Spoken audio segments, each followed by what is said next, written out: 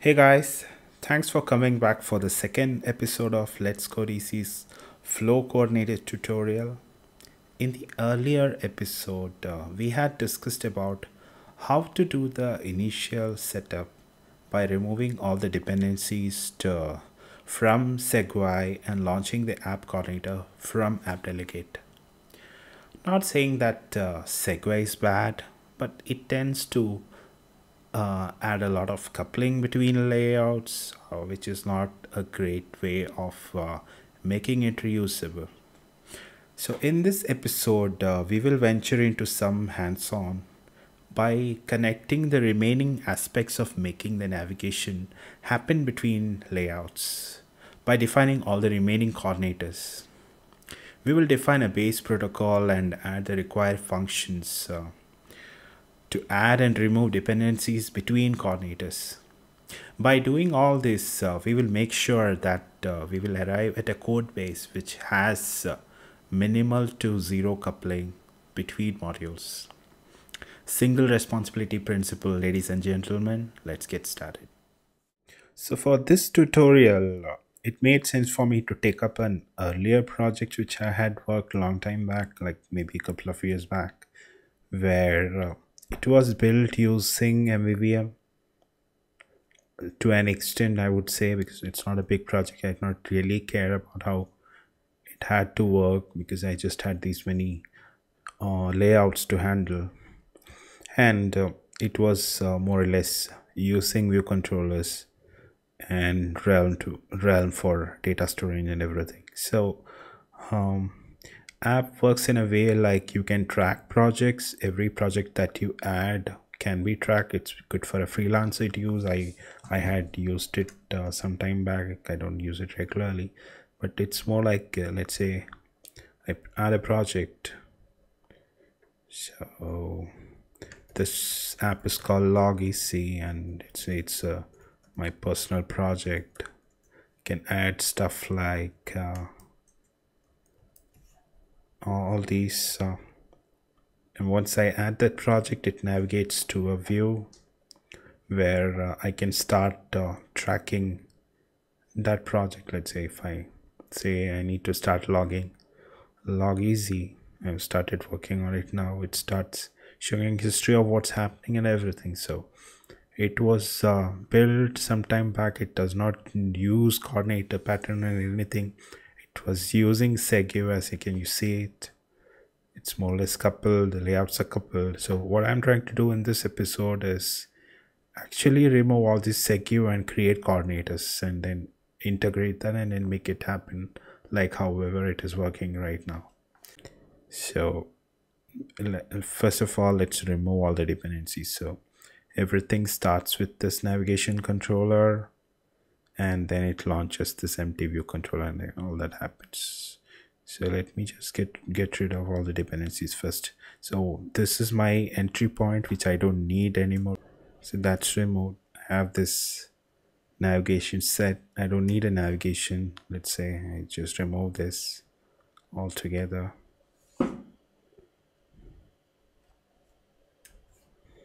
And this is my first entry point your controller. I have these tab bar. Let's let's uh, do one by one. Okay let what I'm going to do is get rid of all the tab bar. So now everything is independent. Each and every layout has no coupling to each other so I have these four of them I need to load and this is something which uh, I had shown as to choose the project. So this is currently whatever I have right now without any dependencies. So what I'm going to right now do is create the initial launcher. Even before that let me just do another bit of refactoring where uh, I'll just remove the empty view controller because ideally it made sense at that point but uh, right now it does not make sense because uh, whatever I'll be doing is initially if there are no projects I need to show the screen and get that project added and then navigate to the remaining screens so with that in mind let me just uh, rework my existing project. So let's add a folder new group called coordinators and first thing that I'll be creating is uh, like the previous tutorial an app coordinator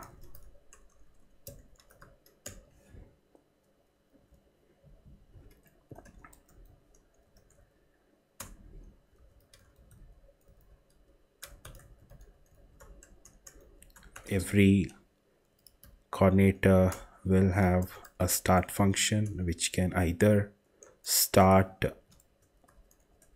um, uh, it can either start the navigation or it can even create a view controller and return it through an observable or a closure or anything.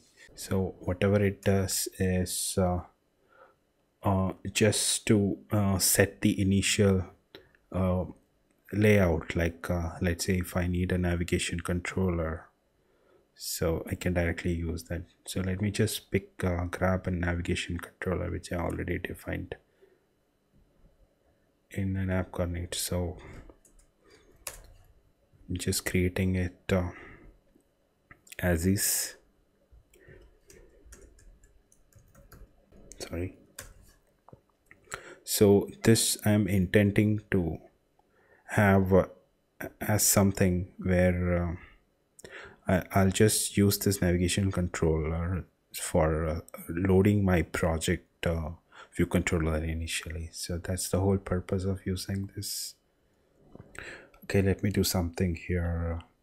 Let me just uh, migrate this to the current Swift syntax. So I need to do it for these ones. Rest are all pods I will only do it for my project uh, and it and its extensions. So that's it. Minimize interference recommended. Okay so just gives me some errors related to this objective C this tag is gone already. Get rid of that maybe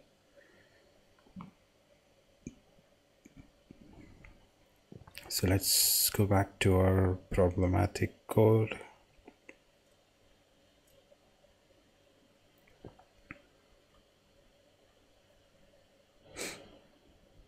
So that's uh, now seem to be sorted. Only thing that I need to do right now is to maybe do a pod install to get the latest uh, version of the pods. So also I like to make sure that I'm pointing to the latest. Yeah it's always latest. Real toast I don't maybe even point that to the latest one. So that's complete now. So all I did was right now add a navigation controller which will is required for initially launching let's say screen which might let's say do a present or a push. So we need this that point that being the first thing. And uh, next thing that we need to do is uh, to set the root view controller. So let's say for that uh, let me just have pick my pick up one code bit which I already have again.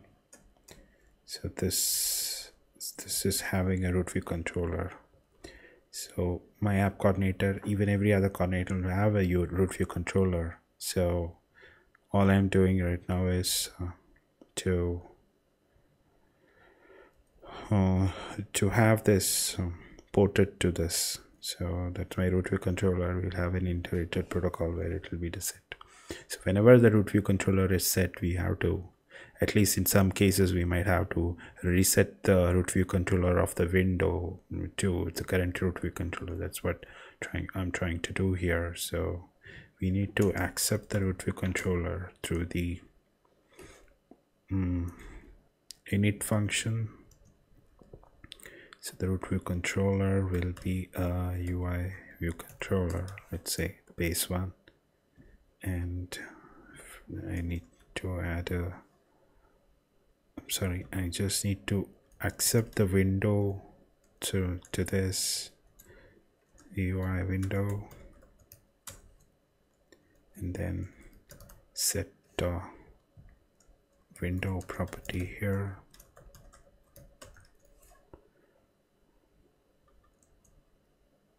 self dot window will be window. So this we will receive through the app delegate similar to how we had done earlier tutorials. So let's go back uh, to our app delegate. Then create have a reference to coordinator. And then uh, just create that uh, app coordinator uh, within the application start. So as a first step let's do that. So first thing is that I need to have an in I need to have an in, um, instance of window created because we we are no more relying on the entry point and all. So I'm just using this then uh, as the next step let me just create the app coordinator.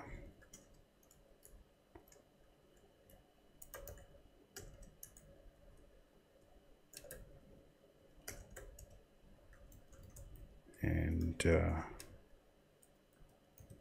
this will accept window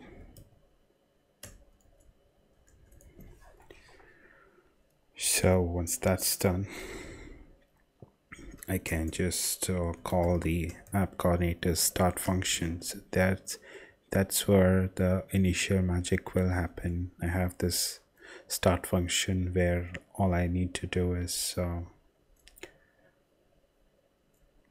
ha have the first instantiation done. So first step let's say I need uh, this for sure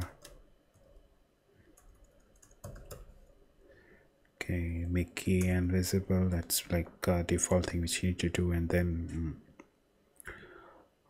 uh, let's say we'll just uh, launch the project view controller initially. So for that let's create a function.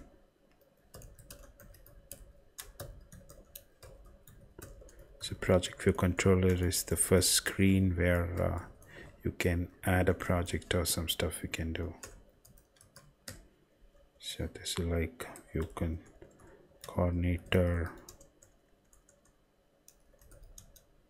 to launch a project. So it does not accept any so idly for if I'm a project I will need a coordinator then so we call it uh, projects coordinator.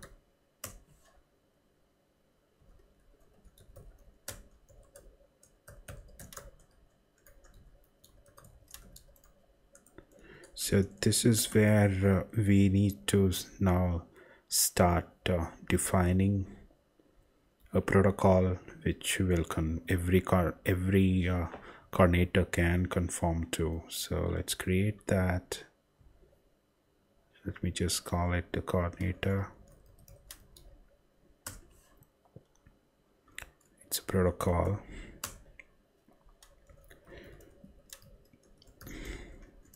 Which will conform to only class type protocols. So every coordinator can have child coordinators. So that's nothing but an array of uh, coordinator. Same thing. So whatever you need as a coordinator should implement the coordinator. So that's the basic necessity for a protocol coordinator. And then we can always extend this coordinator to have other features. Let's say if I had to have an add a dependency of one coordinator to the other let's say so I can have uh, a child coordinator which will accept uh, a child coordinator.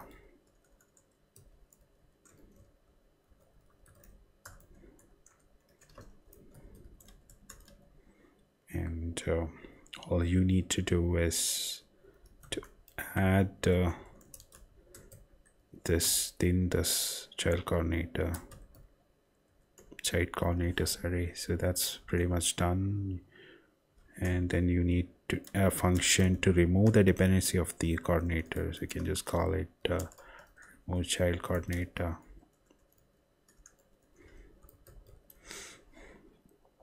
So we call it child coordinator.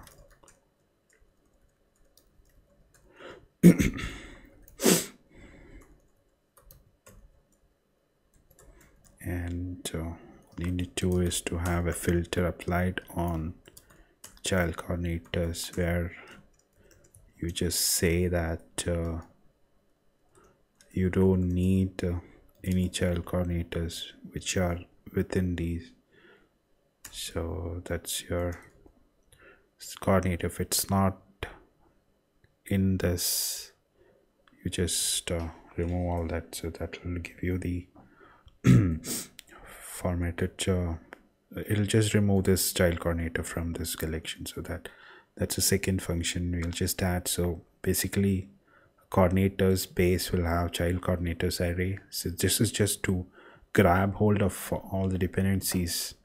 Like if there is a transition happening from one screen to the other like if let's say it's a push or a or a present or something and as soon as you're adding a um, dependency because navigation is going to happen from one coordinator to the other not from a view controller to the a different view controller. So you at least uh, when the, the, navigation is happening the first coordinator should know that the second coordination coordinator is being uh, pushed or presented so that uh, it can act upon it uh, hold a reference to it.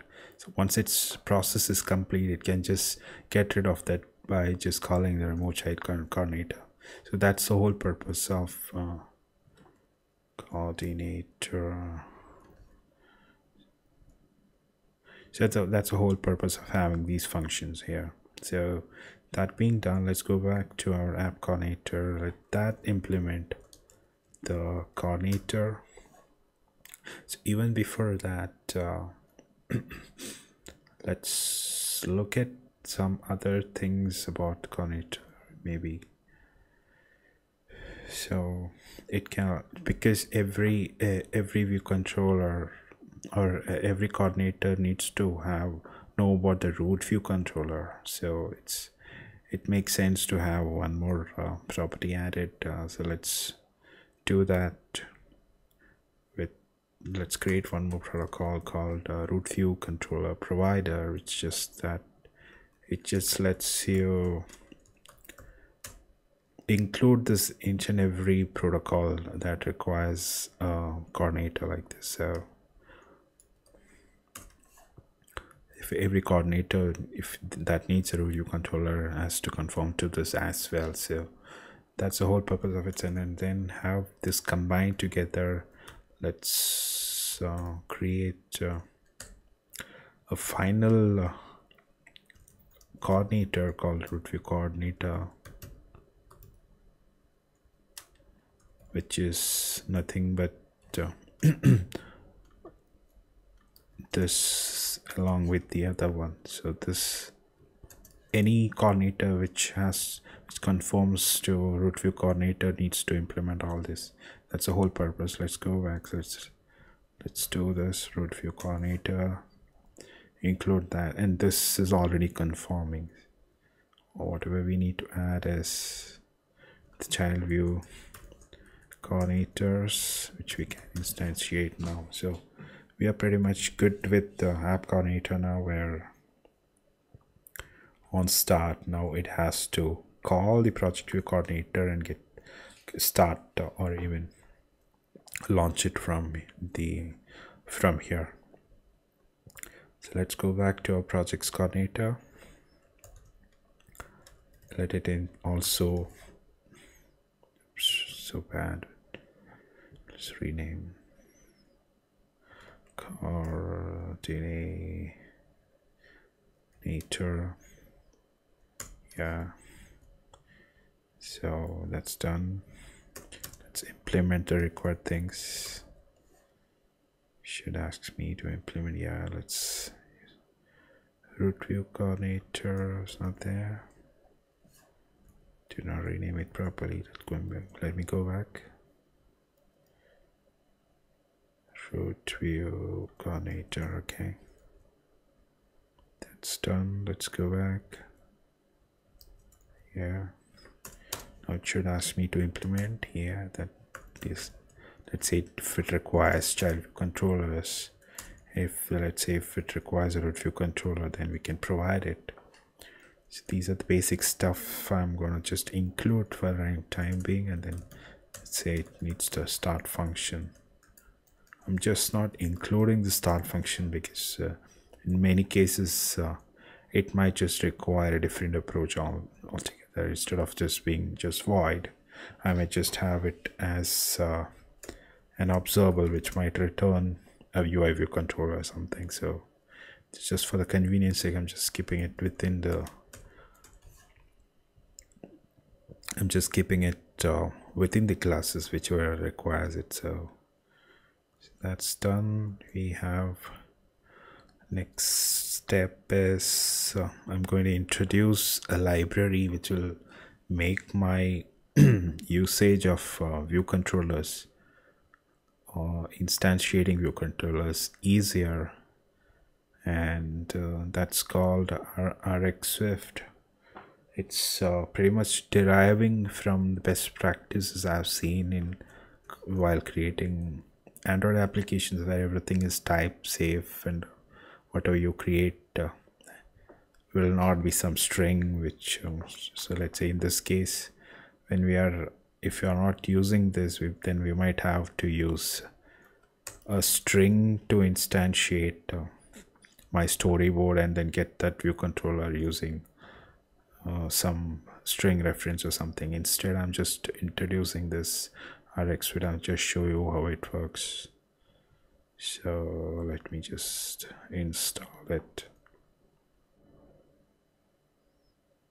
Okay that's getting that's happening now. So that into that just installed rx r.swift so all i need to do right now is to grab a generated file. There'll be a file generated called r.swift somewhere. I missed it I need to do something more. Where let me just go to their documentation. Go back to my target. Go to build phases. And I need to add uh,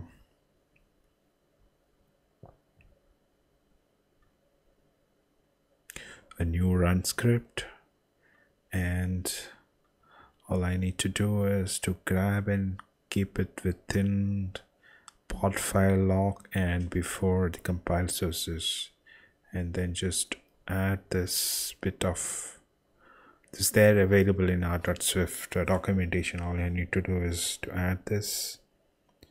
That's it. And then just compile it once this is taking a while okay until then. So what do we have right now? Let's go back to our app. Coordinator. Whatever i am right now trying to do is to let's say before that gets generated let me just add some of the things. Let me go here and i have every view controller go to its uh, class section pick up the storyboard id and add something there tab bar controller. So this in turn will be generated for us uh, within the code where we can access uh, this storyboard using our .storyboard main dot this identifier. So it becomes pretty much easier okay so toastmaster. It's just changed a bit i guess. Tap to dismiss. Okay. It's okay. It's fixed.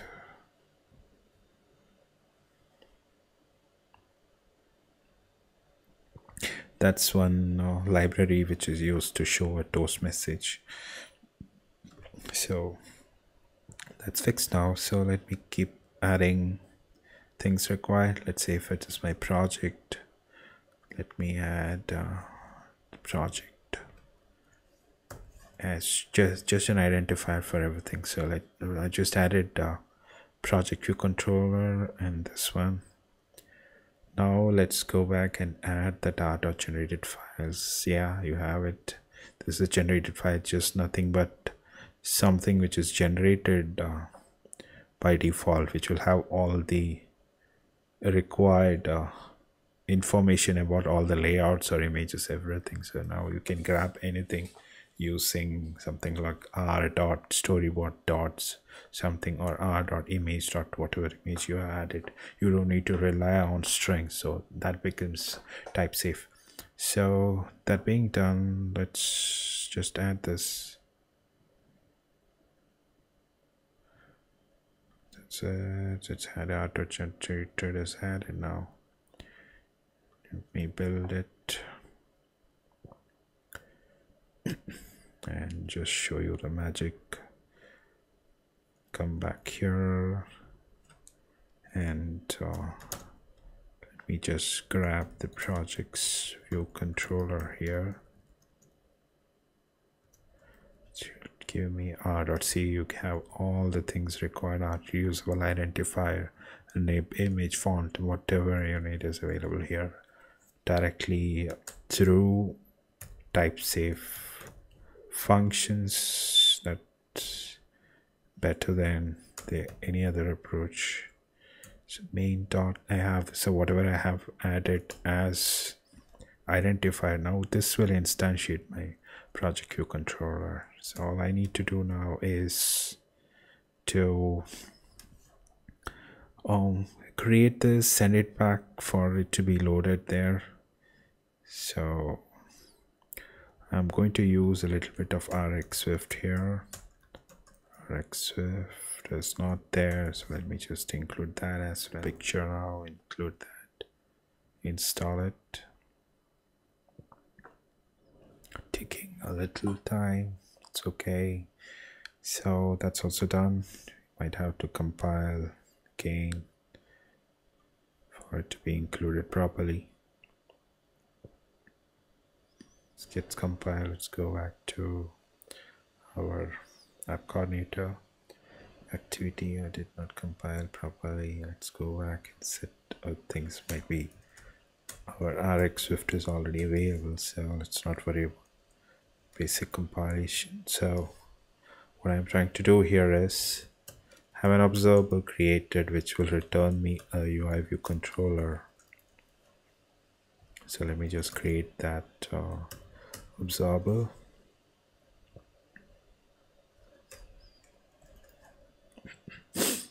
and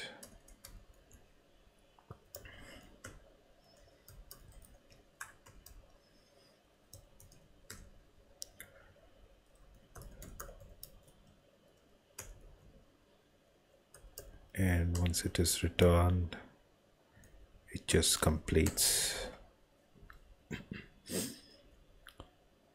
So that's pretty much it. It just returns this so whatever the run function start function will modify now because it has to now subscribe to that.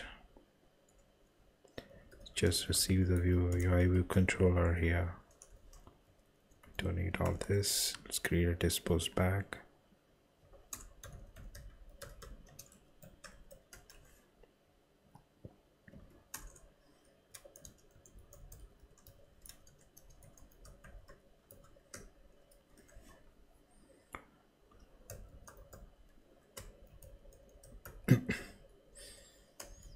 Okay that's it. So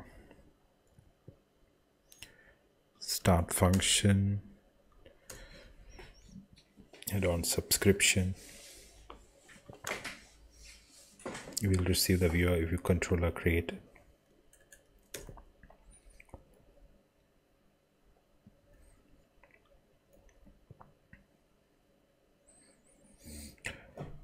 so uh, this is required uh, because uh, we are going to set uh, the root view controller when the project is getting launched so this being the first launch project view controller we have to we have to identify what needs to be the initial. So in this case it's just that uh, we don't have the tab already loaded. Project view controller will be launched on start. We don't have a manager yet but then let's scale. If no projects exist then call projects then let's say launch project screen.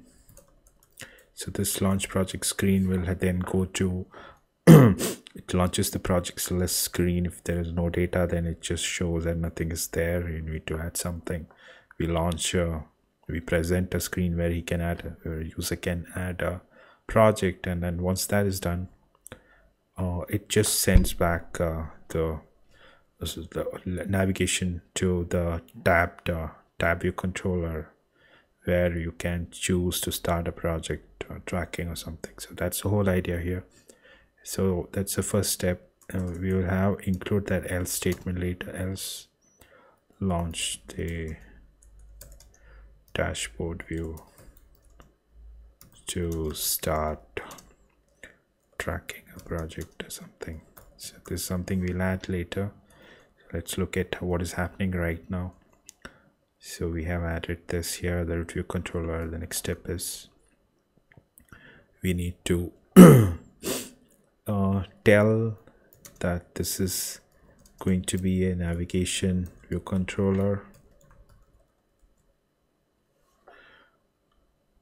And the root view controller is a UI navigation controller if it's if it's identifies that it's a UI navigation controller then we push this uh, we will just push our return view controller to this navigation controller. So that's the initial step where when the app launches it calls. If no project exists that's where I call uh, launch project view controller so that's uh, that's pretty much the initial idea when the app is launching. So let's uh, walk through whatever we have done until now starting with app delegate. In app delegate we have the app coordinator created where we pass the created uh, instance of UI window and then call the start function. So within the app delegator it receives a window and then makes the start function where we are launching the project view controller and uh, where we have a version of project navigation controller already UI navigation controller available which we will let's say lazy load and whenever required we launch it so if when it is identified that the project view controller needs to be launched initially because there are no projects existing. So we set the project navigation controller as the root view controller. So that in turn will set the windows root view controller to current view controller which in this case is the UI navigation controller. So that being done we'll call the project coordinator call the start function start function does create the project view controller instance. Uh, and then what does it say?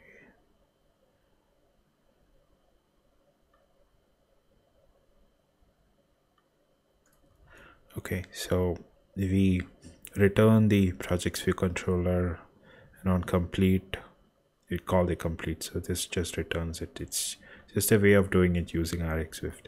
So let's see what happens. Now let's just basically run this and see. It should give me a blank uh, screen with one plus button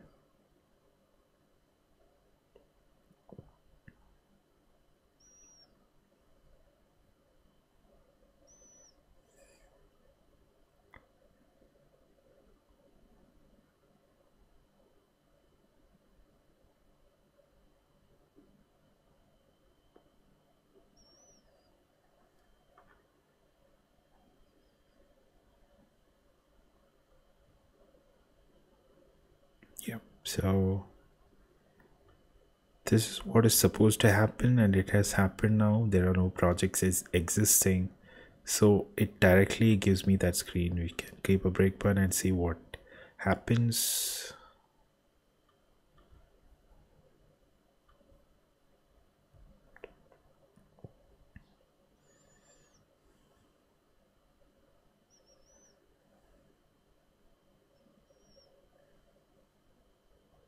goes through this workflow where it loads the navigation view controller, root view controller, and adds my UI view controller there. It's pretty much there now. So the next logic that we are going to add is for this one. This launch because we already have a UI navigation controller in place. So let's call the same stuff. Log easy is my project client my own project. Maybe I'll charge myself. Then on add project it does create it. So it ideally should have navigated to the other screen which did not happen right now for that. Let's do something for that now. So we need to